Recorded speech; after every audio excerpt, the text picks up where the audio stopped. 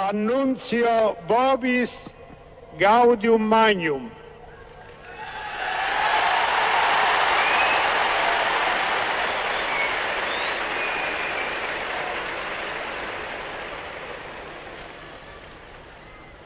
Habemus papam.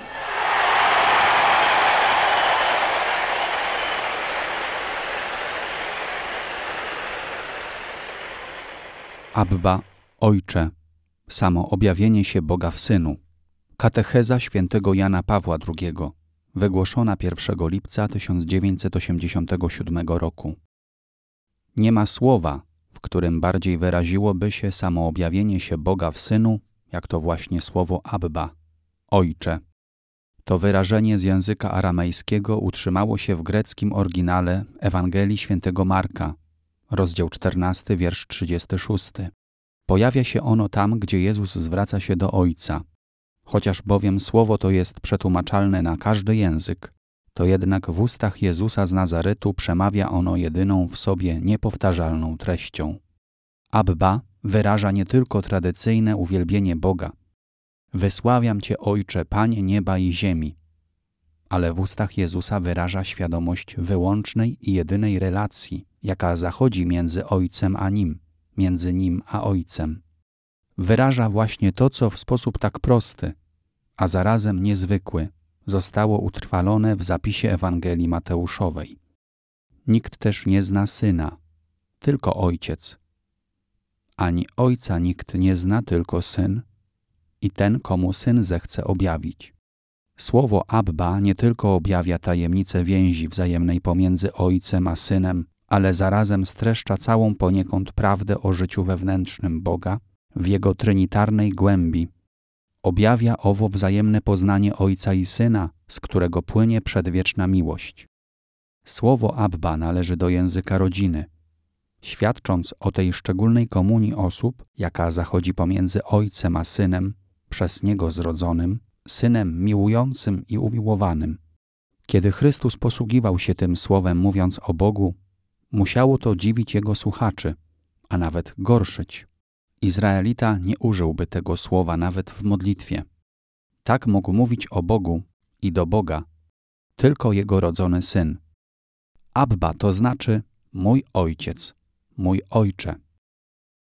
U Jeremiasza znajduje się tekst, w którym Bóg oczekuje, aby wzywano go jako Ojca. Będziesz mnie nazywał mój Ojcze. Proroctwo to czekało jak gdyby na swoje spełnienie w czasach mesjańskich. Jezus z Nazaretu przyniósł wypełnienie tego proroctwa, mówiąc o Bogu jako ten, który zna Ojca, posługując się synowskim zwrotem Abba. Stale mówił o Ojcu i wzywał Ojca jako ten, który ma prawo zwracać się do Niego, Abba, mój Ojcze. Wszystko to zostało odnotowane przez ewangelistów, a w sposób szczególny w Ewangelii Markowej, gdzie czytamy, że w czasie modlitwy w ogrójcu Jezus wołał Abba, Ojcze, dla Ciebie wszystko jest możliwe. Zabierz ten kielich ode mnie, lecz nie to, co ja chcę, ale to, co Ty. Niech się stanie. Paralelny tekst u Mateusza brzmi Ojcze mój, czyli Abba, choć sam wyraz aramejski nie został przytoczony. Również i wtedy, kiedy zapis ewangeliczny ogranicza się do samego Ojcze, jak u Łukasza, rozdział 22, wiersz 42, a także w innym kontekście u Jana, rozdział 12, wiersz 27. Istotna treść jest ta sama. Jezus przyzwyczaił swoich słuchaczy do tego, że słowo Bóg, w szczególności słowo Ojciec, w jego ustach oznaczało Abba, mój Ojciec. Już jako dwunastoletni chłopiec mówi do Maryi i Józefa, którzy szukali go przez trzy dni. Czy nie wiedzieliście, że powinienem być w tym, co należy do mego Ojca? A u kresu swojego życia w modlitwie arcykapłańskiej, która kończy jego misję, gorąco prosi Boga. Ojcze, nadeszła godzina.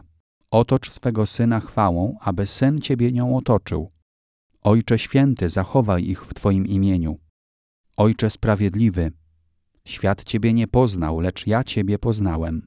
Tak również w zapowiedziach spraw ostatecznych, gdy prosi: Pójdźcie, błogosławieni Ojca mojego, w przypowieści o sądzie. I tak aż do ostatnich słów na krzyżu: Ojcze, w Twoje ręce powierzam ducha mojego.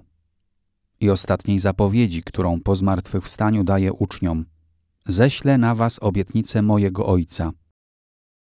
Jezus Chrystus, który w ten sposób zna Ojca, przyszedł, ażeby objawić Jego imię ludziom, których Ojciec mu dał.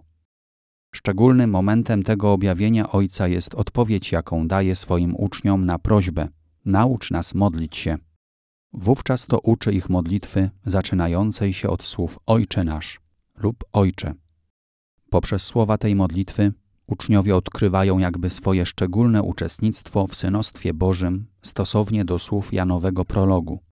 Wszystkim, którzy je przyjęli, czyli którzy przyjęli słowo, które stało się ciałem, dało moc, aby się stali dziećmi Bożymi.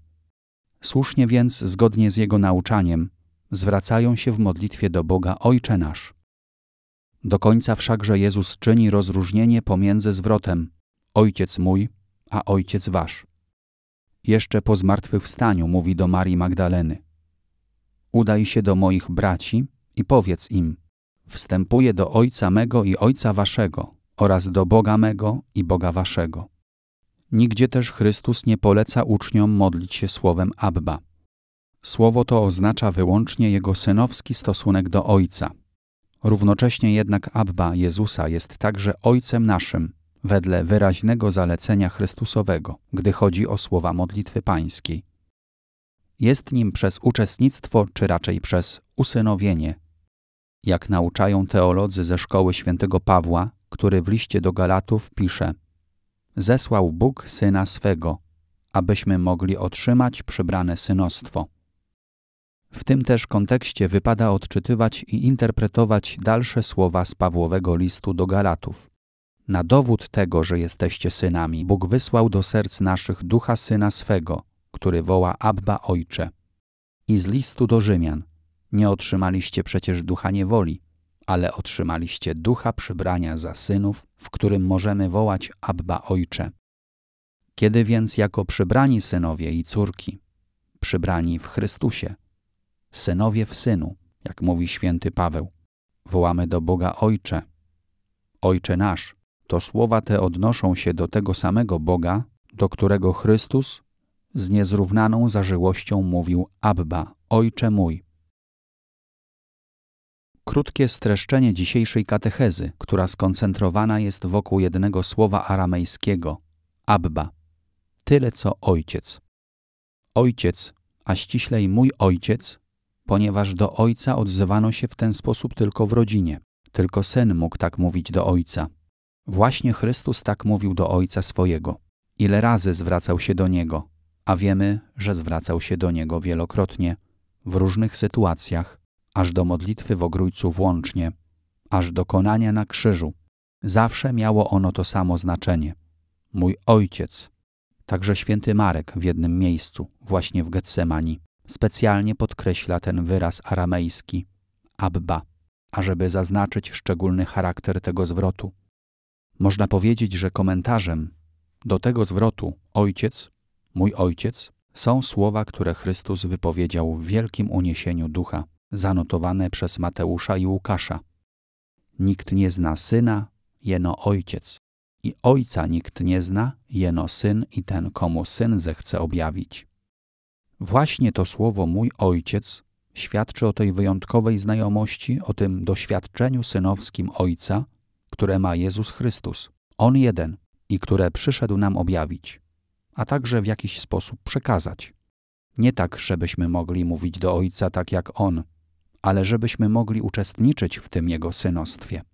To jest główny cel Jego posłannictwa zbawczego i odkupieńczego, ażebyśmy się stali synami w Synu i żebyśmy przez Ducha Świętego, jak mówi święty Paweł, też mogli mówić do Boga, Abba Ojcze. To jest krótkie podsumowanie treści dzisiejszej katechezy. Myślę, że winno nam dopomóc w rozważaniu tej podstawowej, wejściowej prawdy naszej wiary, która towarzyszy również i nam ciągle, na wzór Jezusa. Bo przecież wciąż codziennie się modlimy i tyle razy powtarzamy Ojcze nasz.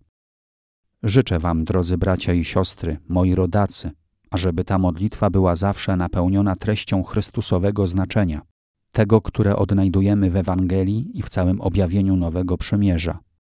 A wszystkim, którym trudno jest mówić Ojcze nasz, życzę, ażeby odnaleźli drogę wewnętrzną do tego słowa i do tej modlitwy. Pater noster, sanctificetur nomen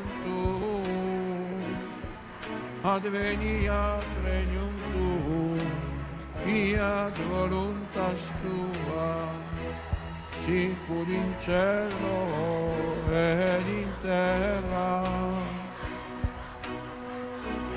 Pane nostrum quotidianum da nobis odie, et dimitte nobis levita nostra, circudano nostri vittimo, e vittorius nostri, et ne nos induca in tentazione, sed libera nos a